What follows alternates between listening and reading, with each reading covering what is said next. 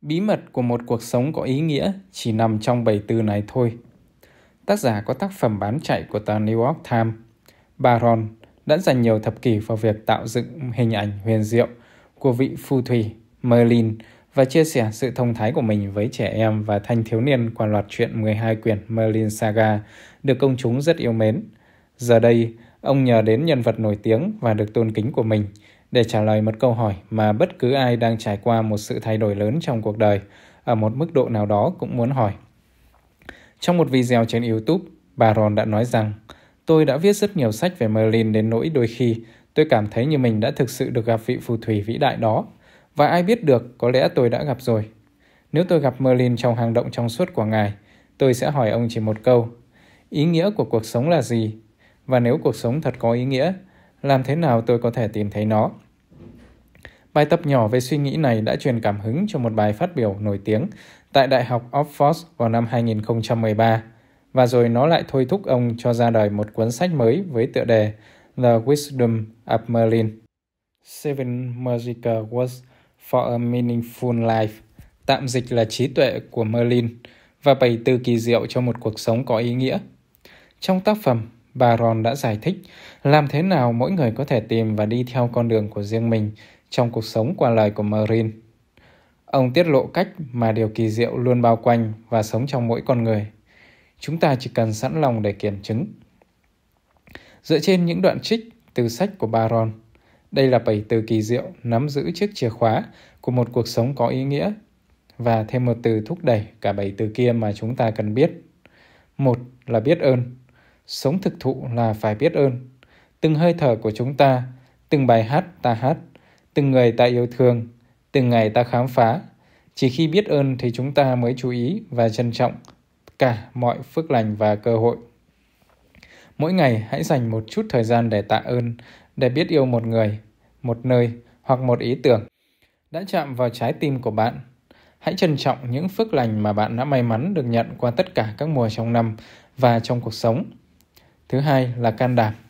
Bạn thấy đấy, cuộc sống có ý nghĩa rất lớn, nhưng chỉ khi chúng ta khám phá ra ý nghĩa đó cho bản thân mình. Ý nghĩa không thể được mua tại bất kỳ cửa hàng nào và nó cũng không thể được truyền lại như một chiếc áo khoác mà ai đó nói rằng bạn sẽ thật hoàn hảo với chiếc áo, thậm chí trước khi bạn thử mặc nó lên. Ý nghĩa phải được tìm kiếm, giành được và biến nó thành thứ của chính mình. Tất cả đều hỏi sự cam đảm. Hãy dũng cảm lên, sống mạnh mẽ nhưng hãy nhẹ nhàng, biết hưởng thụ nhưng vẫn đầy quan tâm, khám phá mọi điều bạn gặp, yêu thương hết thảy, một cách chân thành và tự do thể hiện cảm xúc của mình – Chạy thật nhanh nhưng cũng đừng quên phải bước thật chậm. Thứ ba là kiến thức. Kiến thức, điều đáng ngạc nhiên là bắt đầu từ hư không, với việc chấp nhận sự hạn hẹp trong kiến thức của mình và một chút khiêm nhường. Tôi đã học được rằng kiến thức có thể cứu tôi khỏi đại dương của sự kiêu ngạo. Sau đó bằng cách kết hợp với trí tò mò, một người có thể học hỏi và phát triển không ngừng trong suốt cuộc đời của họ. Có hai vũ trụ để khám phá, một là ở bên trong chính bạn, hai là ở bên ngoài. Và đây là phần đặc biệt nhất. Bạn khám phá từng vũ trụ được bao xa và bạn khám phá được những gì hoàn toàn phụ thuộc vào bạn. Thứ tư là niềm tin. Đi theo đức tin của mình như một dòng sông chảy ra biển và bạn sẽ thấy mình hòa vào những làn sóng êm dịu của đại dương tâm linh bao quanh tất cả chúng ta. Bơi trong con biển đó là ta đã hòa nhập vào một sức mạnh lớn hơn, một nhận thức sâu hơn, một chân lý cao hơn – và cũng là một niềm vui tuy nhẹ nhàng nhưng rất bền vững. Chỉ cần nhớ, để niềm tin của bạn là đúng, không có niềm tin của những người khác đều phải sai. Nếu bạn thật sự chắc chắn về đức tin của riêng bạn, thật sự được lay động bởi sự thông thái và sức mạnh của nó, vậy thì bạn không cần phải tạo niềm tin của bất cứ ai cả. Thứ năm là tò mò. Tò mò là trí tuệ cốt lõi của một đứa trẻ. Một trí tuệ rộng mở cho những điều tuyệt diệu bởi vì trẻ em nhìn thấy thế giới một cách tươi mới, tất cả mọi vẻ đẹp và điều kỳ lạ, bí ẩn và say mê của nó. Tò mò là chìa khóa mở ra cánh cửa của trí tưởng tượng và điều đó dẫn đến những cánh cửa khác, trân trọng, sáng tạo và nỗ lực. Cốt lõi của trí tò mò là sự cởi mở, hãy sống với tất cả các giác quan của bạn. Nếu bạn có ý muốn đi tìm trí tò mò, bạn sẽ không bao giờ tìm thấy nó. Thay vào đó, hãy cởi giày ra, đi chân đất trên đường đời của mình và cho phép nó tìm đến với bạn. Thứ sáu là rộng lượng.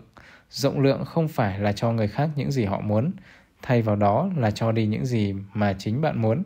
Chia sẻ đòi hỏi sự đồng cảm. Vì vậy, việc làm một món quà rồi trao cho người khác chỉ là một phần nhỏ của rộng lượng. Đó là kết quả của nhìn thấy được của một món quà trước đó, món quà vô hình từ trái tim. Hãy ươm mầm một vài hạt giống rộng lượng vào cuộc đời của bạn.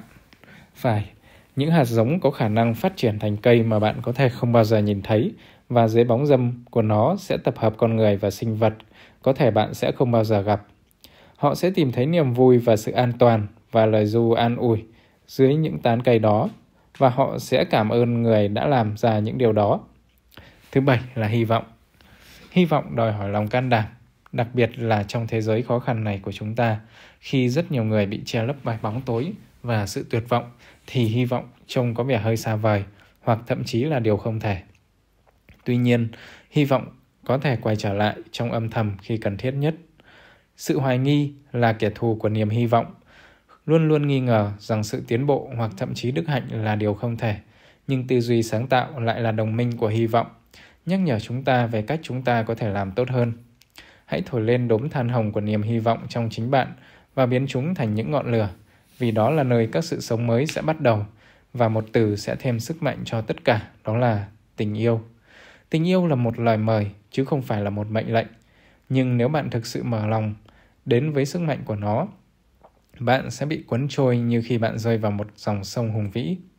Và nơi dòng sông đó đưa bạn đến thì không ai có thể dự đoán được. Nghịch lý của tình yêu là nó vẫy gọi chúng ta đi sâu vào bên trong bản thân mình để tìm ra sự thấu hiểu tâm hồn của một người khác. Nhưng một khi sự hiểu biết đó được tìm thấy, bạn sẽ được kết nối với những người đó để khám phá bản thân mình sâu hơn. Rõ ràng cả trong lẫn ngoài, ta đều có hiểu biết rất sâu sắc. Vậy, thế nào là một cuộc sống có ý nghĩa? Một cuộc sống có ý nghĩa khác và lành mạnh hơn so với một cuộc sống hạnh phúc. Những lợi ích về mặt cảm xúc của lòng vị tha có lẽ đã trở nên phổ biến.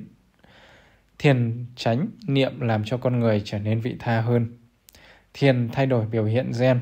Vâng, kính thưa quý vị và các bạn, liên quan tới những sắc màu xung quanh cuộc sống hàng ngày của chúng ta thì chúng tôi sẽ liên tục cập nhật và gửi đến cho các bạn trong những video bổ ích tiếp theo. Xin cảm ơn quý vị và các bạn đã theo dõi. Xin kính chào tạm biệt và hẹn gặp lại trong các video tiếp theo.